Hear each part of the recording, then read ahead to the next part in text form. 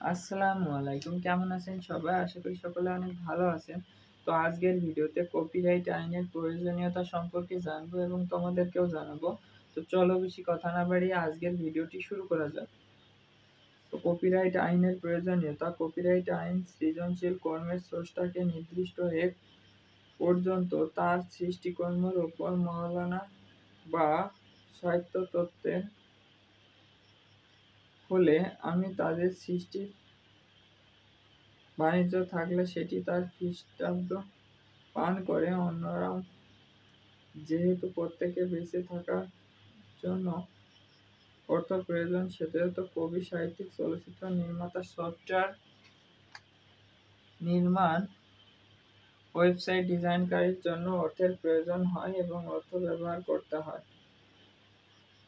তারা তাদের সৃজনশীল কর্মের সৃষ্টির জন্য পরিশ্রম, মেধা, কখনো কখনো অর্থ বিনিময় করে।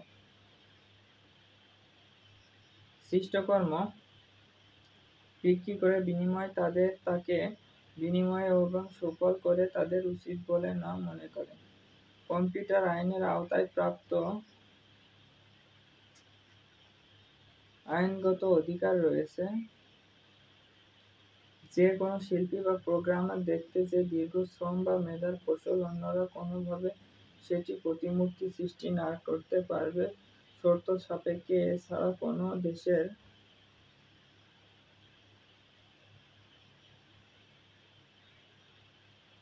দেশের একটি বিশেষায়িত করতে হবে এবং নিক্ষত্ত হয়ে পড়ে।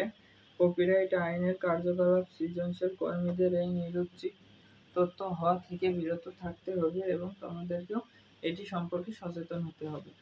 তো এই ছিল আজকের ভিডিও ভিডিওটি কেমন লাগছে অবশ্যই কমেন্ট বক্সে জানাবেন। ভালো লাগলে একটা লাইক দিবেন।